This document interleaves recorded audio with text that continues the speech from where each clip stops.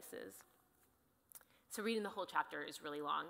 So I think that's why we kind of skipped over it. But um, what happens in those in between verses is God lays out this.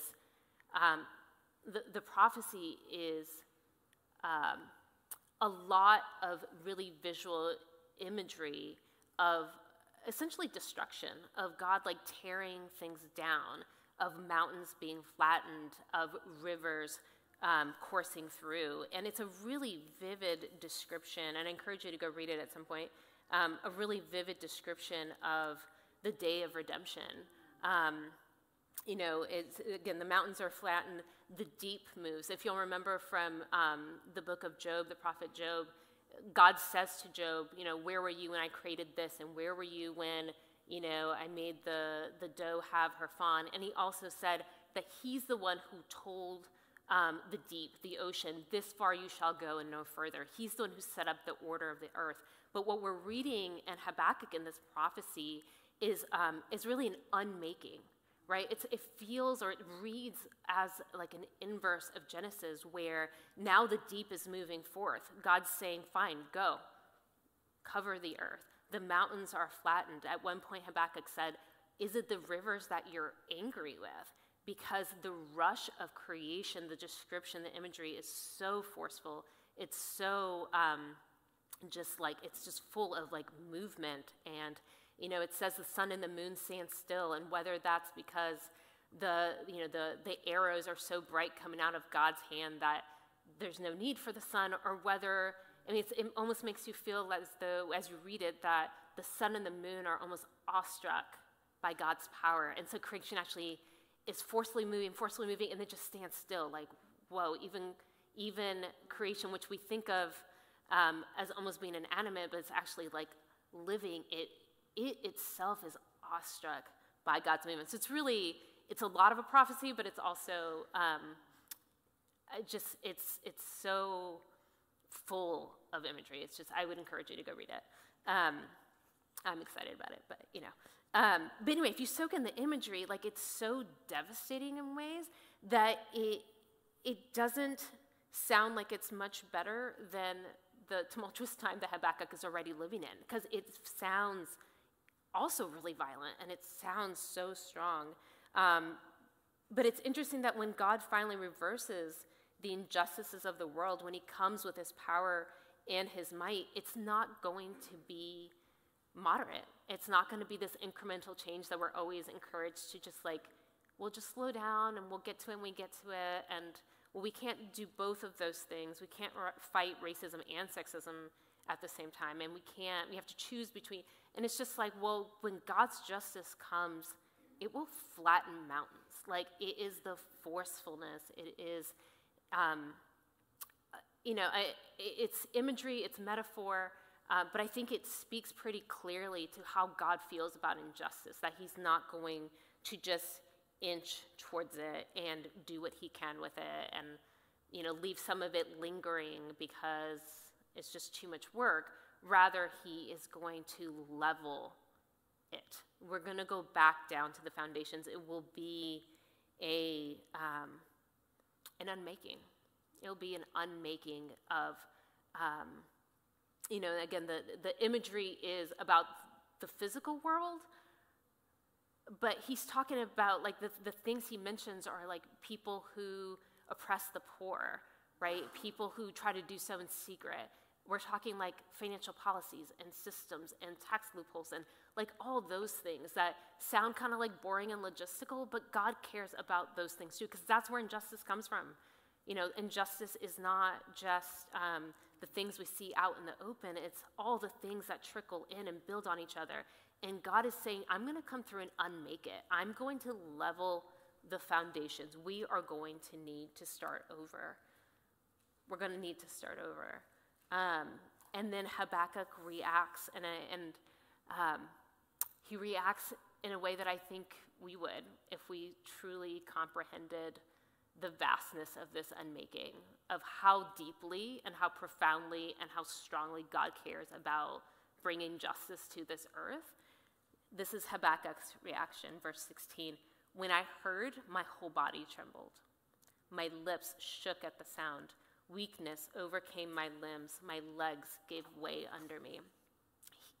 This, after he hears God's response to what he asked for, he said, Come and undo this. And God says, Oh, I will.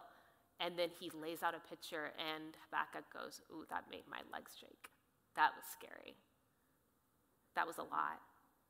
Because God will move against injustice, but sometimes unmaking systems um, is just as hard and just as forceful as the systems themselves, right? Like there's a, the, the birth pains that come.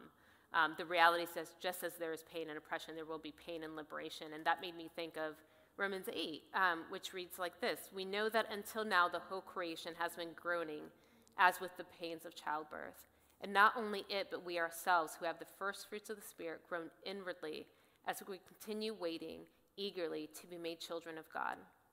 That is, to have our whole bodies redeemed and set free. It was in this hope that we were saved, but if we see what we hope for, it isn't hope. For all, after all, who hopes for what he already sees? But if we continue hoping for something we don't see, then we will wait eagerly for it with perseverance. So, groaning with the pains of childbirth, waiting to be set free, hoping and persevering. How will we move through this holy unmaking? Will we find the calm and hope that Habakkuk found as he moved from that lament to hope, as he built up his song, his story, his sense of how he was going to move in these spaces? Um, and Habakkuk makes that transition pretty quickly. In verse 16, the one that started with my legs are trembling, it ends with, but I wait calmly for the day of trouble. I wait calmly for the day of trouble. Um, and I feel like that's that's a dance that I think we all try to do, right? Where we feel the injustice, we see it, we don't want to hide from it, we also don't want to let it consume us, and then we're like, overconsumption, apathy, seeing consuming everything. Oh, maybe I just need to not, just just let me just get away. Like maybe I should become a hermit. Like you just, it's it's hard to find that balance. So when Habakkuk goes from, wow, that's terrifying, to I feel calm in the space of one verse, you're kind of left wondering I need, I need a how to. like, how, how do we get to, to that space? Um, so, how do we move away from being okay with the status quo to moving towards um, a sense of hope? Um, and Habakkuk lays out the things that he does. So, he starts by remembering. We remember the things that God has already done.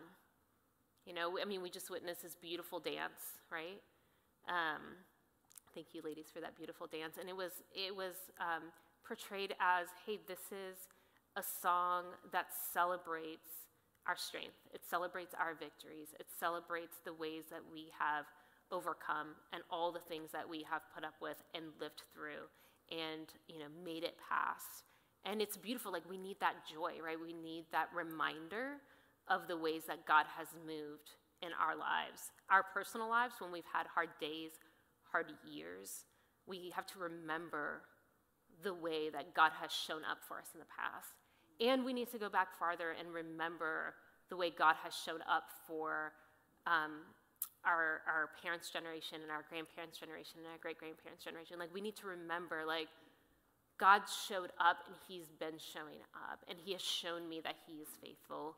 Um, how can I remember that and hold on to it? And that's what Habakkuk does. He starts off by saying, I know the deeds that you have done. He's remembering, like, I know you move. I know you're not an idol who just sits around because I've seen it and I've heard about it. And we just need to hold on to that. We need to remember that while we can be, or I'll speak for myself, I can be a very short sighted person. Like, sometimes what I see in front of me is all I see. I'm like, you're in a hard situation and it feels like it's going to last forever. Like my current situation kind of is what it is and that's my life. And it's just like, that's not true. Like we are short sighted creatures who serve an all seeing God, who is not short sighted, who is able to, like, he's not bound by time. right? And so by remembering that, by remembering that that's who we are, but that's who He is, it gives us a sense of perspective and it really can start to foster that hope and that calm within us. And relatedly, we need to remember when and how to hold on to our peace. Um, I don't generally like to stand at the pulpit and use the word should. Like you should do this and you shouldn't do that. Um, but I will right now and say that we shouldn't close our eyes to injustice, but we also shouldn't try to absorb it all. And if you have tried to do that, you've probably realized that it's, it doesn't work well. Like you can't try to absorb everything and consume everything, every video, every news story, every whatever that comes across your screen or, or that you hear around and keep your sanity. You just, you can't. And I used to be annoyed when people would be like, oh yeah, I didn't watch that video because it was just too much. And I'm like, well, that's a lot of privilege that you get to just turn it off. I don't get to turn it off because this is, and then I just kept consuming and consuming and consuming, and I couldn't sleep at night. And I just was like, just constantly had this pit in the bottom of my stomach, and I was just like, oh, I'm a finite creature. Like, I can't keep absorbing everything. And so, finding that line, finding that limit, and trusting that even when we need to turn away, God will continue to see and mourn. We need to know where that limit is. Um, and even when we wonder, okay, well, all I'm doing now is just praying. Like, is that enough? I'm sending my thoughts and prayers. Like, that's all I'm doing. Well, maybe in that season, that's what you need to do. Like, maybe you've absorbed enough. Maybe you've gone to enough protests. Maybe you've and I'm not saying you shouldn't do those things, those are all really good things. I'm saying know your limit. I'm saying we're just people. We need to take care of ourselves. I think, especially if you are part of a marginalized community, we are already holding so much just walking through our daily lives. You can't absorb everything all the time. It's okay to know your limit. You're not letting down your people, you're not letting down your ancestors. Just self care is a real thing. And I know people are throwing that term around all the time now, but truly, truly find figure out where that limit is and respect it and give yourself rest and know that while you are resting from that god is still going around. Like he's still doing his thing. Like he doesn't need us to every day constantly be on our instagram feed posting and watching and reading in order for him to continue working um, on the injustices that we are seeing. So so find your peace. Will help you restore your hope and get that sense of Habakkuk calm um, in your life. Um, and finally, uh, Habakkuk tells us that he's able to find calm. He's able to transition from lament to hope because he knows that his strength does not come from him. So, where does it come from? Verse 19 says, Elohim Adonai is my strength. God is his strength. And what does that strength look like? Deer feet. That is his answer. Deer feet. What? Okay. Um, it says in verse 19 also, He makes me swift and sure footed as a deer and enables me to strive over, stride over my high places. Um, we don't see deer a ton around here. And so you might be like, oh, cute, Bambi, and kind of glaze over that last part. Like, God is my strength, great, deer feet, whatever, and kind of move on. But um, during the pandemic, so if you've heard me preach or have talked to me generally for like more than 10 minutes, you know I like hiking and backpacking. Um, and during the pandemic, uh, my husband Justin and I went on this multi day backpacking trip in Olympic National Park up in Washington State. Um, 40 miles over five days, which sounds like a lot, but it's actually not a very fast pace for backpacking. But they were really hard miles. I'm just saying, they were really hard miles. Um, it was August, but it's a temperate rainforest. And the west side of the valley actually receives 12 feet of rain every year. And it was just wet. So it was beautiful, right? So there's mountains and ferns and trees. But I was wet like the entire week. Like I was changing my socks and it didn't matter because nothing dried. And it was just it was just wet, right? So the whole trip beautiful. So glad I went. Was a slog, just like the entire thing. The forest was thick because of all the rain, but it was hard to find trails sometimes. And there would be a few times where would be like, I think we can camp there. Oh, wait, that's just like wet ground, like soggy, like, you know, when you step on ground, it kind of goes, like, is wet. So it's like, oh, we can't camp there. So it's just hard to find things because everything was just so hard to walk through. Um, and we were just wet. Just wet. Anyway, so it was wet. Just if you take anything away from this conversation, Olympic National Forest is wet. Um, so, but one day we were on the trail and we rounded this corner and we just froze because up ahead were two of the largest animals I had ever seen in my life. And I've had like a grizzly walk into our campsite before. Not in California, there's no grizzlies in California. Um, they were elk, okay?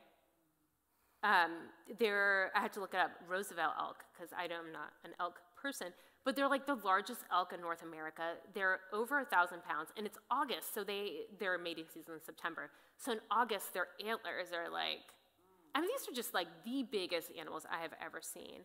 Um, they were completely unbothered by us. They looked at us, and we are like, "You tiny creatures." Um, that's not what they said.